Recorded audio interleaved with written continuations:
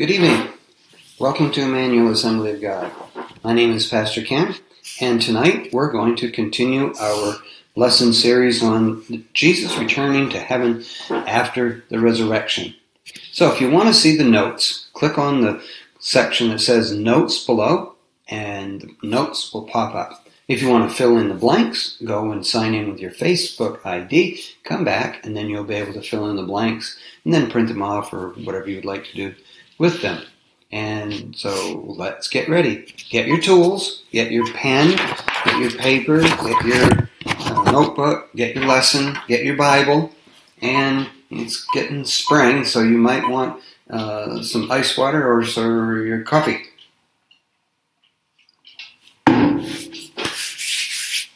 Okay, Acts chapter 2, and we are going to look at the birth of the church. The birth of the church. So far, we have looked at Jesus returning to heaven, and we looked at choosing an apostle. Tonight, in Acts chapter 2, we're looking at the birth of the church. Now, question number one. We have said this a couple times already in our last couple lessons. The disciples were to wait in Jerusalem for the Holy Spirit. And uh, you know, it's hard to wait. And uh, they were told to wait. And we must be patient. And now, they did not know when that would be. Jesus didn't say go wait for four days, 10 days, 20 days. He just said go wait. They did not know what to expect. They, what does that mean to be endued with power? Their baptism in the Holy Spirit was a total surprise to them. They had no, they didn't have a clue what was going to happen. Now, that arrival was 50 days after Passover on the day of Pentecost.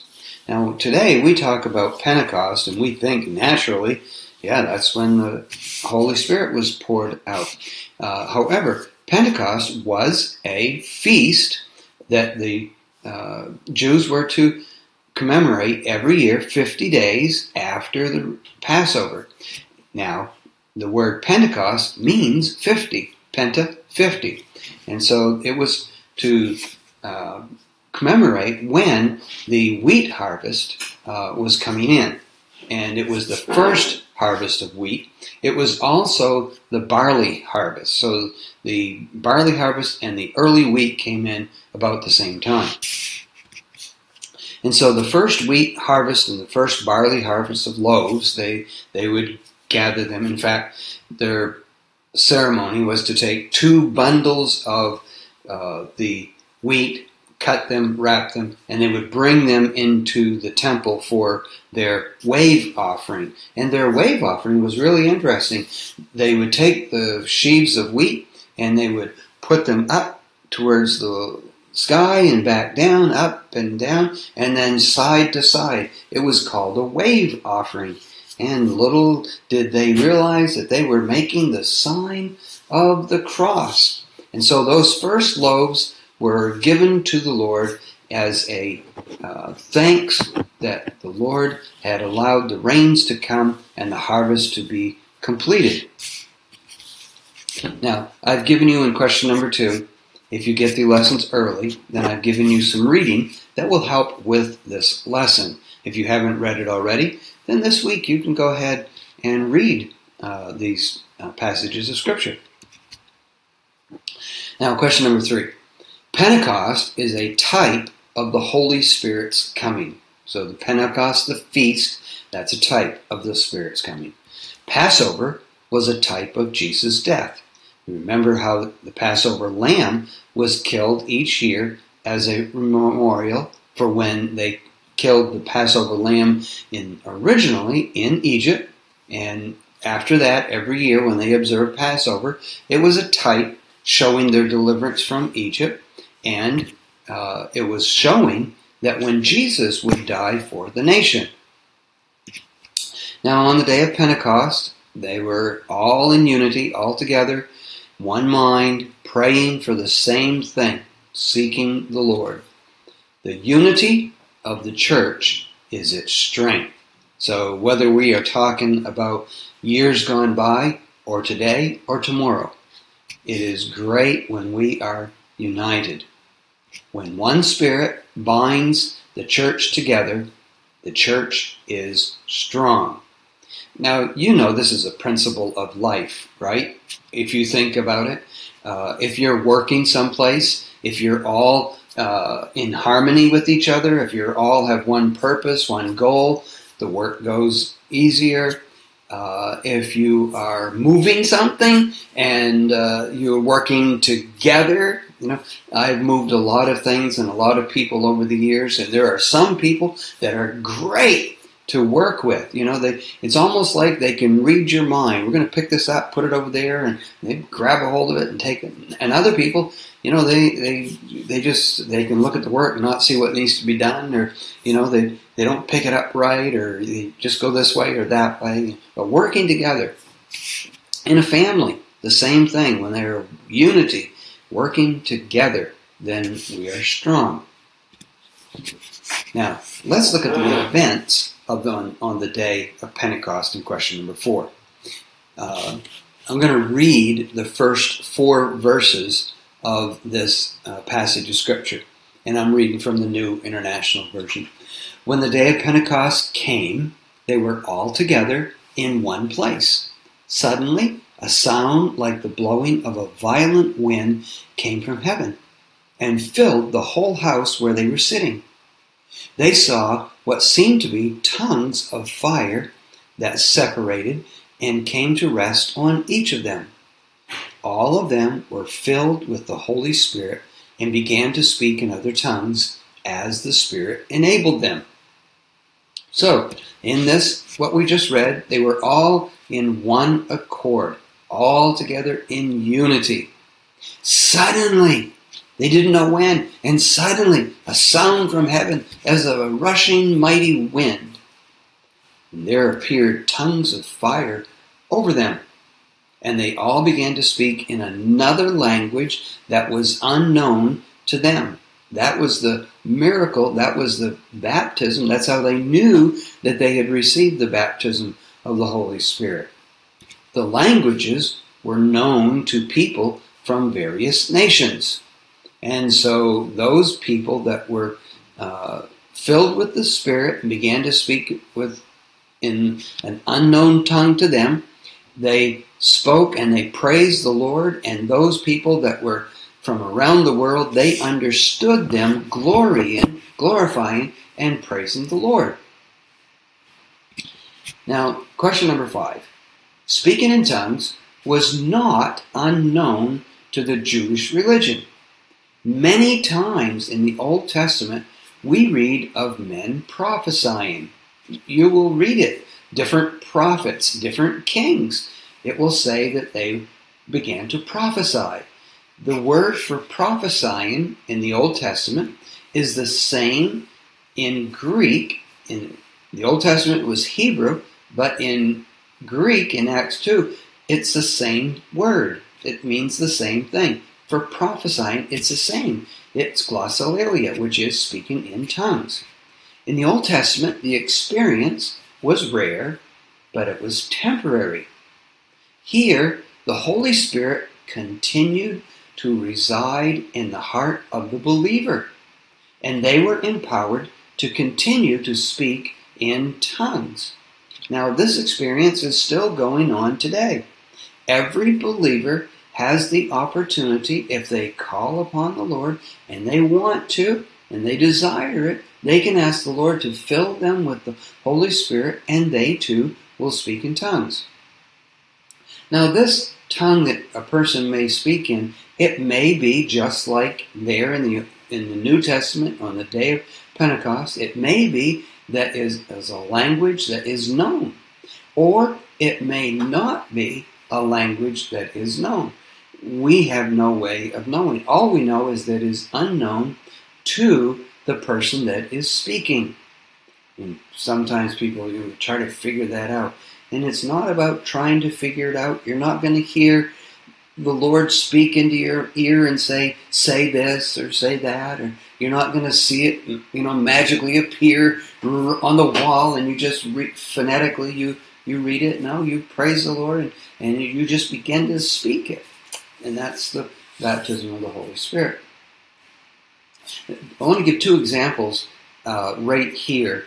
The, the, first example I wanted to give, uh, there was uh, a man I met one time and uh, he had uh, his wife had passed away, and he was a retired sea captain, and uh, he was going to church, and in the church that he was going to, uh, he met a lady that uh, her husband had died quite a while ago, and, and so the two of them they uh, struck up a relationship, and they eventually they got married.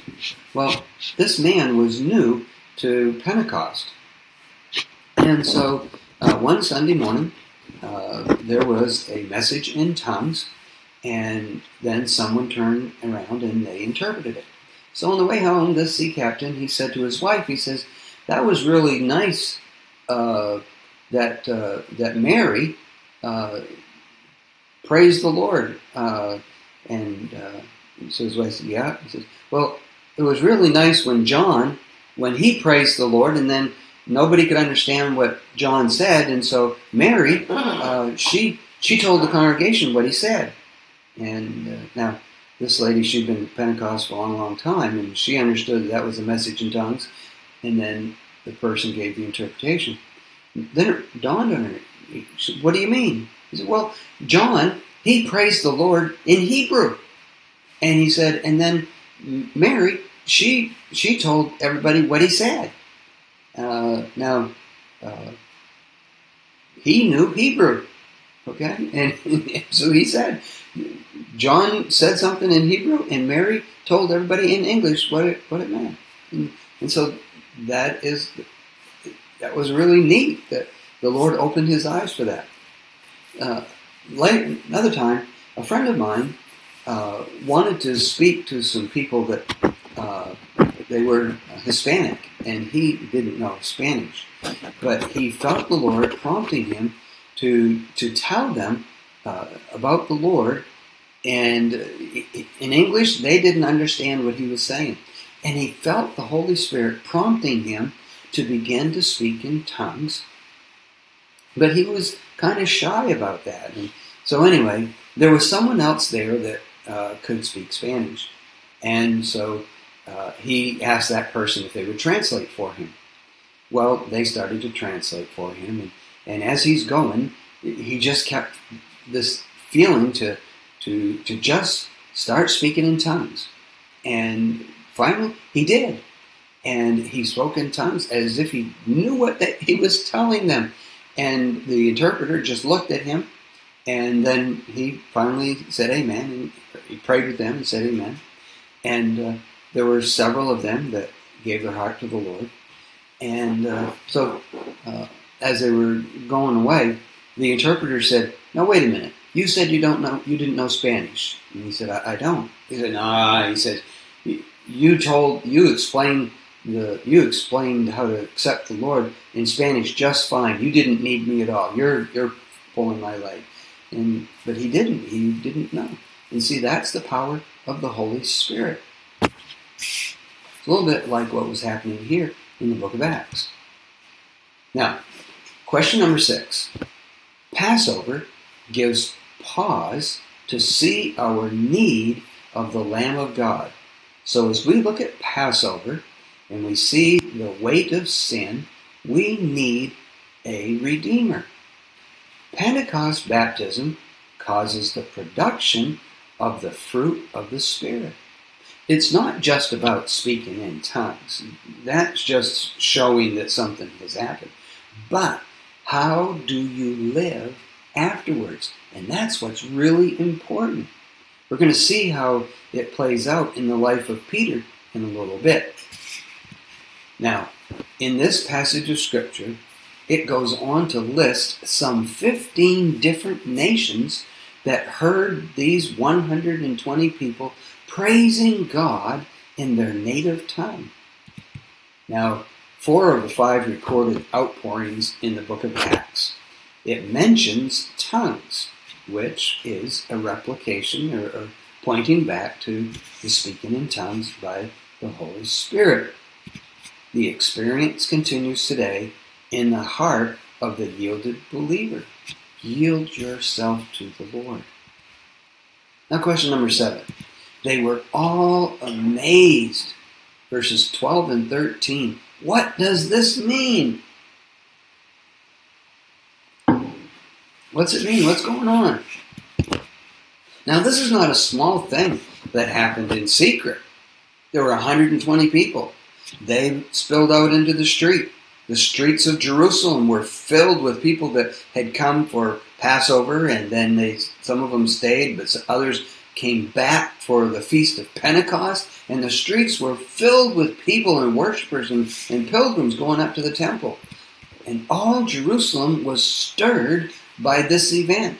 Just like the crucifixion that caused such a stir, this event made people's heads turn. Now, some people that were in the street and they heard what was going on, they readily opened their minds and they believed. Now, others scoffed at what they were hearing and they said, Oh, they're just drunk. Uh, they could not deny this miraculous work, so they mocked it.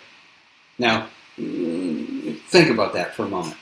When was the last time someone got drunk and start, started speaking in a tongue that they didn't know? You know, like, do you know do you know French or do you know Italian or do you know uh, Spanish? Uh, to just just start speaking that just like that, you get drunk and then speak it. No, that's not. It doesn't work like that. Now let's look at Peter. Uh, Peter was a changed man in the last part of this chapter, and this is in verses 14 to 18. Uh, he lifted up his voice. Suddenly, Peter found his voice. Now, this is in sharp contrast. I'm going to show you some of that before. I'm going to show you Peter before this. Okay? Keep that in mind. He found his voice. You know, sometimes people find their voice, don't they? They all of a sudden they grow up. They come into their own. Now, Peter identifies what is happening here, this outpouring of the Holy Spirit. He identifies this as a fulfillment of Joel's prophecy in Joel 2 28 and 29. This prophecy, prophecy runs like this In the last days, says the Lord, I will pour out my spirit. Parentheses is mine. This was the beginning. Says, Your sons and daughters will prophesy. Prophesy is to speak in tongues. Fifty days earlier, Peter had denied he even knew Jesus publicly. You remember that? He's warming his hands by the fire, and a little girl says, You're one of his disciples. And, no, no, no, no, that's not me. Well, now, today, suddenly, he finds his voice. Something has happened. Question number nine Peter had cut off the high priest's servant's ear. Remember that? Jesus was being arrested. The soldiers wanted to know who were, you know, Jesus asked, Who are you looking for? And the soldiers were looking for Jesus of Nazareth. And Judas said he would kiss the man that was Jesus. And Peter drew his sword and he cut off the high priest's servant's ear. Now, you know that he wasn't trying to just to cut the guy's ear off, right? He was aiming a little lower, but he missed. And what did Jesus do? Jesus picked up the man's ear and he put it back and healed the man's ear. Can you imagine that? Wow, how incredible. Peter did that because he was scared. Remember, Jesus one time was talking about how he was going to go up to Jerusalem and he was going to die. And Peter took Jesus aside and he rebuked Jesus. Don't talk like that. But now Peter recognizes this was the plan of God. Remember when Peter was walking on the water? What happened when he saw the wild wind and the boisterous waves and in Matthew chapter 14? What happened? He said, Jesus, if it's really you, tell me to come to you. And Jesus says, Come. And he came out on the, and you know, but he got almost to Jesus when he saw the wind and the waves and he began to sink. That was that was Peter before. What happened to Peter when Jesus was arrested? In Matthew 26, 56, it says that Peter ran for his life. He fled when Jesus was arrested. Remember the night before the crucifixion? Jesus asked Peter, James, and John, he says, Come with me and pray with me. And Peter says, Yeah, I'll pray with you. And in a few minutes, he fell asleep. Okay? Not once, but three times. When Jesus rose from the dead, where was Peter? In John 20, it says that Peter was hiding for fear of the Jews. This doesn't sound like the Peter that we see in Acts chapter 2. Peter did not believe the women who reported back to him the resurrection. Remember that? Mary Magdalene comes and she says, The Lord is risen. Goes, Yeah, all right. And he and John run to the tomb because they know where it is. He didn't believe the women. He ran to the empty tomb, went inside of it. He looked and he saw the grave clothes. And then he saw the, the napkin that was put around the head all folded up and laying right there. He was amazed. But still, hadn't found his voice yet. Peter said one time, after this, he said, I go fishing. Now, going fishing, you remember, Peter, James, John, and Andrew were all fishing, mending their father's nets. And Jesus came along and said, Follow me, and I will make you fishers of men. And so they left fishing. But now that Jesus has resurrected from the dead and they only see Jesus once in a while, what did Peter do? He said, I go fishing. That represented going back to his old life. Now, he wasn't saying, I'm hungry and I'm going to go get a, to go fishing to get some food to eat. No, he was going back fishing to as work. Jesus said, No, no, no, no. And Jesus asked him, Do you have any fish? Remember the story? And they threw the net on the other side. And then, when they got to shore, uh, Jesus was talking to Peter. And uh, he said, Peter, do you love me? And Peter says, Yes, Lord, I like you. The Lord said, Peter, do you love me? And Peter said, Yes, Lord, I like you. Now, you know, there's something wrong with that picture, right? Because if I said, if my wife says to me, honey, I love you, and then I look back at her and I say, I like you, uh, that's not going to cut it, all right? She's going to, her eyebrows going to scrape them off the ceiling. Okay? But see, Peter's the one that he had said just a few days, a few weeks earlier than this, he had told the Lord, I won't deny you. And then what did he do? He denied the Lord. So Peter, he's a little fearful here of he, he can't even trust himself and saying, I, uh, he can't say, I love you, because that's making a real commitment because he knows that he's fickle and he failed the Lord and said, Lord, I like you. And then earlier, just in the last chapter, Acts chapter 1, Peter, along with the others, they wanted to know, Lord, are you going to restore the kingdom to Israel now? Not on the same page at all.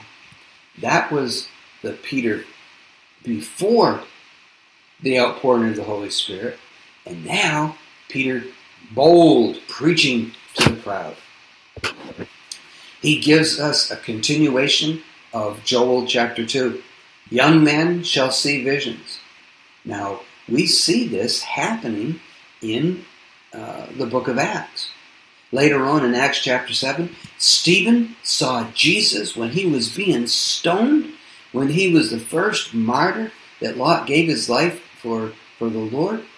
Stephen saw Jesus standing by the Father's right hand, welcoming him into heaven. So he saw a vision. Cornelius saw an angel. Remember that? The angel said, Send to Joppa and look for one Peter. Have him come and preach to you. And Peter, he saw a sheet full of creatures that came down from heaven. And he looked at them, and they were all unclean. And uh, the Lord said, Rise, slay, and eat. And Peter, Oh no, Lord, nothing unclean has ever come into my mouth. And, and so the Lord was speaking uh, to Peter. We see Paul in Acts 16, Acts 23, and Acts 27. Paul had night visions, and time and again the Lord appeared to Paul and gave him instructions. We've had incidents in the last 2,000 years that could fill books that the Lord has directed people in visions and in dreams to do this and to do that for the kingdom of God. The Lord is still speaking to us. Now, our last question tonight, question number 12. Jesus' death and resurrection gave life to the early church. So look at that. His death, burial, resurrection gave life to the church. The Holy Spirit gave the church power to preach the gospel. Peter now stands up boldly. How does he do that? Because the Holy Spirit has come into his heart and is living in his heart. They counted themselves worthy to suffer for Jesus. They bared their backs for the ah. whips, and, and when they were beaten, they, they, oh Lord, thank you. It was an honor to, to suffer for Jesus. When the, the chief priests, when they examined the disciples and they said that they were ignorant, that doesn't mean stupid. It just means that they, they hadn't been to university. Okay, they took notice that they had been with Jesus. Okay? How did they they knew that these men by what they were preaching, they had been with Jesus. They knew what they were talking about. Their lives were now endued with power from the Holy Spirit. And that's what Jesus said would happen. He says, Go and wait in Jerusalem until you be endued with power and the Holy Spirit comes upon you. Remember, they didn't know what they were looking or waiting for, didn't know what to expect. But when the Holy Spirit arrived, they knew it. If you open up your heart to the Holy Spirit, when He arrives and comes in your heart, you will know it. Amen. Well, thank you for being with us tonight. We are so glad that you took time out of your busy schedule to join us. Let's close in prayer. Father, we thank you for the outpouring of the Holy Spirit.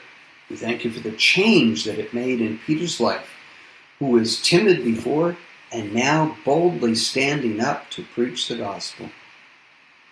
But you said through Peter that this is for you and your children and your children's children, and many as are far off. So even, Lord, today, so we open our hearts and lives and we say, Lord, fill us, continue to fill us with your Holy Spirit. I thank you, Lord, for each one here today. I pray, Lord, that your presence would fill their heart with the glory of God. I ask it in Jesus' name. Amen. Amen. God bless you today. Thank you for being with us, and we hope to see you on Saturday at Saturday School. Amen.